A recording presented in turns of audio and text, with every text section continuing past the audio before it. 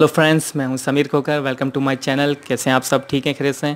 दोस्तों, कल एक ट्रेलर रिलीज़ हुआ है तो मैंने सोचा इस पर अपना भी एक रिव्यू दे दूँ। एक हॉलीवुड की अपकमिंग मूवी है, जो कि क्रिसमस पे रिलीज़ होगी। अच्छा आपको याद होगा कि 1995 में एक मूवी आई थी जुम्मान जी के नाम से, जो कि मतलब काफ़ी उस टाइम में हिट रही थी मूवी और मेरी तो स्पेशली बहुत फेवरेट मूवी रही है, क्योंकि बहुत अच्छी मूवी थी, और मैं मतलब बचपन था मेरा तो मुझे याद है तो वीसीआर की कैसेट मेरे पास होती थी तो मैंने इसकी जो है काफ़ी बार ये मूवी रिपीट करके मतलब बार बार देखी थी वी कैसेट में। तो ये और स्पेशली ये जो एक बुक थी मतलब 1981 में जो है क्रिस वैन एल्सबर्ग ने एक बुक लिखी थी बोर्ड गेम से रिलेटेड एक स्कूल बुक थी। तो उस पर बेस्ड मूवी थी और रॉबन विलियम्स इसमें जो लीड रोल में थे। तो उसके बाद जो 2014 में रॉबन विलियम्स की डेथ हो गई तो उसके बाद जो है 2017 में जो है जैक कैसडैन ने जो है इसको मूवी को जो है रीमेक इसका किया सीक्वल बनाया। और सीक्वल में जो है डिवेन जॉनसन नज़र आए थे केवन हार्ट थे, इसके अलावा जैक ब्लैक थे, और क्या नाम है कैरन गिलान थी और भी दूसरी का निक जॉनस भी थे।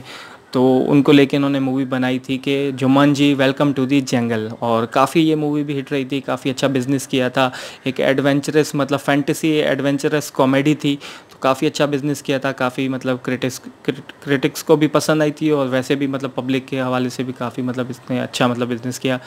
मैंने भी ये मूवी देखी थी, मुझे बहुत पसंद आई। तो अभी जो है ये मूवी का आ रहा है मतलब थर्ड इंस्टॉलमेंट कह लें, वो रिलीज़ होगी जो कि क्रिसमस पे।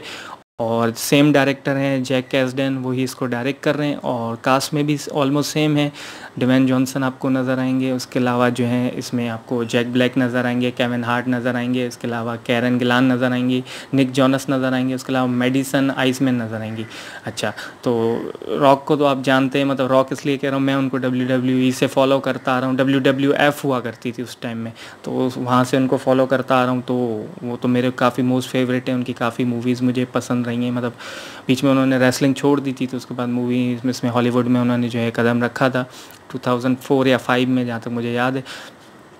तो उसके बाद इनकी मुझे मुझे जो इनकी स्पेशली मूवीज़ पसंद है स्कॉर्पियन किंग मुझे बहुत ज़्यादा इनकी पसंद है। उसके अलावा journey to the mysterious island बहुत ज़्यादा पसंद है मुझे और लास्ट मैंने इनकी जो मूवी देखी थी रैमपेज वो भी मुझे काफ़ी अच्छी लगी थी। उसके अलावा जो है केविन हार्ड भी बहुत अच्छे एक्टर हैं हॉलीवुड के, उनकी मूवीज़ काफ़ी अच्छी रहती हैं।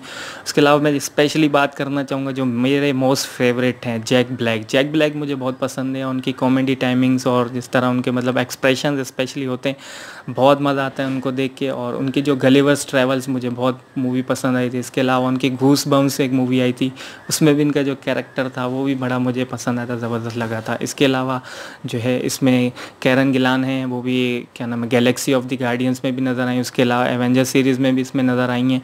और इसके अलावा एक और मैं इसमें जो कैरेक्टर है, उनकी बात करता चलूँ, एक एक्ट्रेस हैं, जिनका नाम है मेडिसन आइसमैन वो जो है लास्ट अभी मैंने एक जो है एक मूवी अभी आई थी, जो मैंने अभी देखी नहीं है, लेकिन आज मैं सोच रहा हूँ कि ये मूवी मैं देखूँ, जिसका नाम है एनाबेल कम्स होम इसमें जो बेबी सिटर का इनका कैरेक्टर है तो ये भी इसमें आपको नज़र आएँगे। तो मतलब कहने का मकसद ये कि कास्ट ऑलमोस्ट सेम है, जो उसमें जो है सीक्वल में इसमें थी तो ऑलमोस्ट सेम और ट्रेलर से मुझे ये फील हुआ कि यार जो सीक्वल का जो ट्रेलर था, इसमें इतना ज़्यादा कोई डिफरेंस आपको फील नहीं होगा। लेकिन ये कि उम्मीद है कि अच्छी होगी मूवी क्योंकि इसमें ह्यूमर व्यूमर बहुत होगा, क्योंकि ये सब जब साथ होंगे डिवैन जॉनसन और जैक ब्लैक केविन हार्ट ये सब एक साथ होंगे तो कितना ह्यूमर क्रिएट होगा, कितनी कॉमेडी मतलब सीन्स होंगे।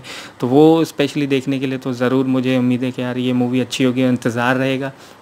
बाकी एक एडवेंचर मुझे इसके जो सीक्वल का जो ट्रेलर उसमें ज़्यादा नज़र आया, इसमें भी वही है ऑल दो मतलब स्पेंसर जो एक इसमें लड़का जो है कैरेक्टर है, वो उसमें जिस तरह बोर्ड गेम्स को रिपेयर करता हुआ नज़र आ रहा है अपने ग्रैंडफादर के मतलब जो बेसमेंट वगैरह में और फिर उनके जो दूसरी बैथनी और दूसरे मतलब फ्रेंड्स बाद में आते हैं, वो वहाँ से डिसपेयर हो जाते हैं उसको रिपेयर करते करते तो फिर उसके फ्रेंड्स वगैरह आते हैं, उनको ढूंढते हुए उनसे, उनके जो ग्रैंडफादर उनसे पूछते हैं तो इस तरह आगे बढ़ती है ये मूवी जो ट्रेलर में जो चीज़ नज़र आ रही है।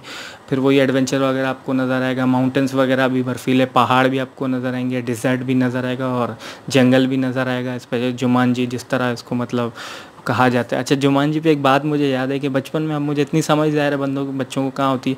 तो मैं जुमान जी समझता था कि यार ये कोई बंदे का नाम है, क्योंकि यहाँ हम पाकिस्तान में जुम्मन एक नाम है जुमान या जुम्मन। तो जी, मैं समझता था रिस्पेक्ट में शायद इनको बोलते हैं तो मैं समझता यार इस बंदे का नाम है, रॉबन विलियम्स, हमको सॉरी रॉबन विलियम्स को जो है, मैं जो है, वो समझता था जुमान जी। बहरहाल ट्रेलर काफ़ी अच्छा है और एंटरटेनिंग ट्रेलर है और मुझे उम्मीद है कि यार ये मूवी बहुत ही अच्छी होगी। तो क्रिसमस पे रिलीज़ होगी। तो मैंने सोचा छोटा सा अपना इसका रिव्यू दे दूँ तो बस होपफुली आप लोग को अच्छा लगेगा। मिलते हैं अगली वीडियो में।